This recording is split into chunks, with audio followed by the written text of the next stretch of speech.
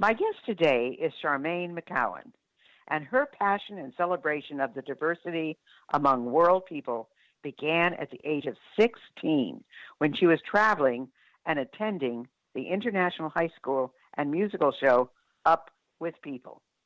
Living in private homes, palatial mansions, college dorms, and on Indian reservations, she immersed herself in a cross cultural exchange to help bridge unity among people from every stratum of life.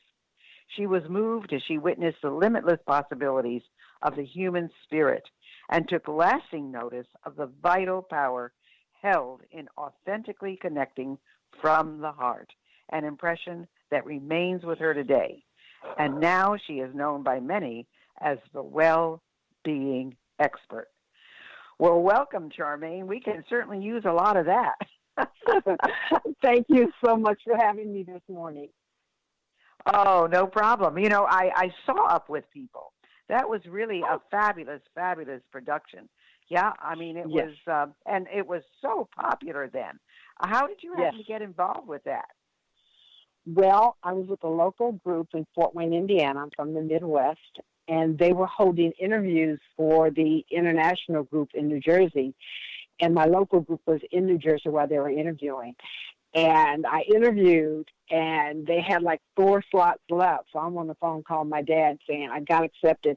I need to be in Oklahoma in two weeks. And he's saying, come home first. I'm going, but so anyway, and it began from there. You know, it's so funny you say that, and you were 16 because I was 16 and I was accepted into the Roxyettes, not the Rockettes, the Roxyettes for the summer. Okay. They were doing summer tour, and they called home for me, and my mother said, "Give me that phone." And she took the phone and asked the questions and did not like the answers and said, "You are not going." So I Oh, can wow. relate to you being 16 and wanting to do this show and going all over the place, and I stayed home. How about that? Wow. Wow. Well, fortunately, yeah, so my I, yeah. my dad wanted me to go. My mom didn't, but they came to a meeting of the minds, and they realized it was one of the best experiences of my life. Well, that's the whole point. I mean, first of all, you know, you were with a group of of other young people, and even though as a Roxyette there would be supervision, you know, when you're a dancer, it's just a whole different ballgame. So my Yes. mom said, no, no, no, no. but you have a workshop that's called Unlock Your Heart. So what can people come away from that learning? What do they what do they experience in that? Right. Right. Well, first of all, it is an experiential work- workshop, and my audience is women. And because it's a set in a series of dialogue questions, they really come away with a renewed sense of self. And they have the opportunity to let go of the veils that sort of shield the heart. And they begin to really find comfort in what it means to be in your authentic self. So, do you find, I mean, I find that there are a lot of people who are not living their true self. And I find that there are a lot of people who have so much, um, oh, what shall I say, stress and, and unsettlement in their life. Why do you think this is so? What have you discovered by working with all these people? Well, you know, I think the thing is, is we get caught into a mold of what's expected from us, from our parents, from society, from whatever environment we grow up in, and we're never really taught it's okay to follow your heart. I have an incredible woman who her email is dance to doc. She's a doctor, but she loves dancing, and she's moving to that passion. And but again, she's an African American woman. She's the first in her family, you know, not only to do college, but to, to go from there. So there were all these expectations of what she should do. And even though she's a great doctor, her passion is dance. So I think we all get put in this mold of what's expected of us. And I'm one of those. You know, I, I went to law school. I was the first in my family to do high school and an advanced degree. And I didn't like the calendar. I didn't like the authenticity. And quite truthfully, I took the California bar many times, came as close as like five points and never passed. And I'm like, what do I do now? And I ended up in corporate America, but even there, it wasn't what I wanted to do. I was following what everyone thought I should do. So I think, you know, I don't think we're taught early enough that it's okay to be who we are. And I, I think people get caught in that. And sometimes, especially women with husbands and families, they wait to the end to go, okay, I've accomplished this. Now what's left for me or what can I do? Well, that's probably true. You know, you and I are, are sisters in that you have uh, you're a breast cancer survivor, and I'm a breast cancer survivor three times. And oh my uh, goodness, yeah, yeah, that's what I said. Oh my goodness. and after 16 surgeries, I mean, and all the stories I hear, I'm just happy that I'm still here and able to do the things that I do. But you've overcome a lot of obstacles. So, what experiences in your life led to you doing this workshop? Because evidently you went through all of this yourself.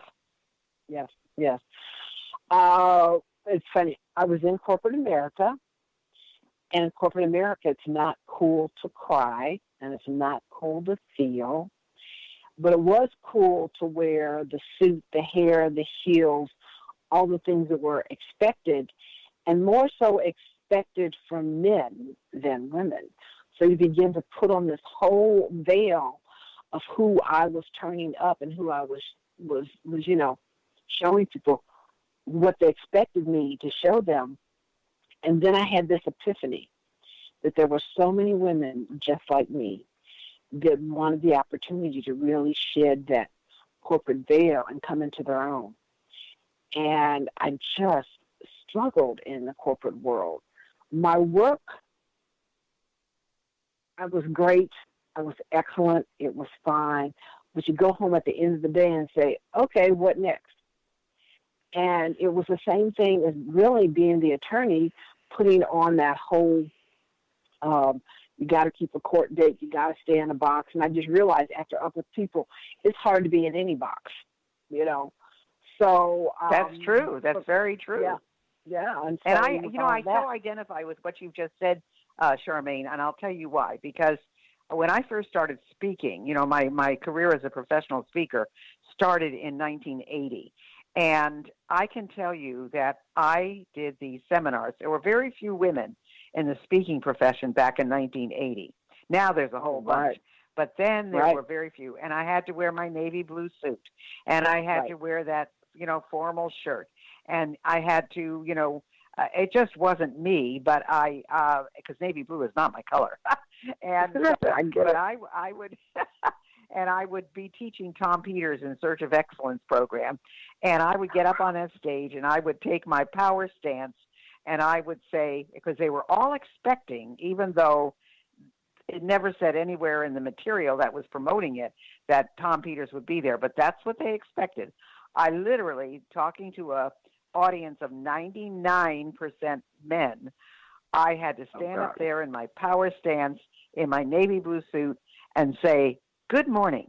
This is Dr. Gayle Carson, and I am here to teach you in search of excellence. And that's it. Wow. If I didn't get them in that 10 seconds, I didn't yes. get them for the rest of the day. And so yes. I know exactly what you were talking about. But yes. you're not only a speaker and a workshop facilitator, you're an author and you're uh, the creator of something called intuitive cards. They're called Humana T Speaks. So tell us a little bit about the book and the cards and how they help people unlock their hearts. Okay, so to begin with, when I was creating my workshops, I did this thing with the treasure chest. And in the treasure chest, women would pick a card and there were these great sayings. And someone said, Charmaine, you just need to put it in a book and do cards. And, you know, the ego gets involved. No problem. I can do that in a month. Of course, six months later, the book and the cards came about. And I allowed the cards to really come through me. And what happens is, and the cards are used in the workshop, what happens is, I believe there's no coincidence in what we get and what we choose. And people get a card, and because it's Humanity Speak, it's 54 wisdom cards, all that end in the TEA. So you might have audacity or simplicity or responsibility all of them end with the TEA because it was humanity in a broader sense. And what happens is people get the cards and they go, How did you know? And I go, I didn't. because they're drawn to whatever card they're drawn to, and it gives them a message. Two women can get the exact same card and a different message. And there's usually no coincidence in the card that they get in the card that they choose. So, do you have a personal favorite? I mean, do you have one that you adore that helps you unlock your heart? Um, I try to choose a card every day, but I was thinking this morning while I was meditating, what card would I want to share and the reason. And I think there's so much turmoil going on in the world right now. And the card that came up for me was Shanti. And of course, Shanti is a Sanskrit word for peace. And if you have a moment, I'd just like to read that card. Wow. So it That's goes amazing. Shanti. Yeah, it goes. The river divided them, the haves and the have nots, the darks and the lights, the goods and the evils. Across the river, they shouted their differences, claiming what they wanted was peace. Through the mist, you could see their faces, their hearts shouting for peace, their hands holding on to war. You could hear the loud screams, the high pitched echoes, fighting for those claimed injustices. All out outward screams for peace bellowing, while the silent screams inside were bigger and louder than those outwardly heard. The silent river raging inside was creating chaos and restlessness, unparalleled by the outward screams. Then came the raging storms, the fierce winds forcing both sides into the river. Both sides were drawn to the middle and caught in a current. In this river, there was a special current, a current that created a ripple in time. In this current, separation was not possible. There were no haves or have nots, no goods and evils, no darks and lights. In this current, no duality existed, only oneness. This current was magnified with the power to draw one deeper and deeper into the middle. Once drawn into the middle, the current dissipated all separation and pulled everything into its flow. And once in the flow, the current gently pulls deep into the stream of calmness, stillness, and tranquility.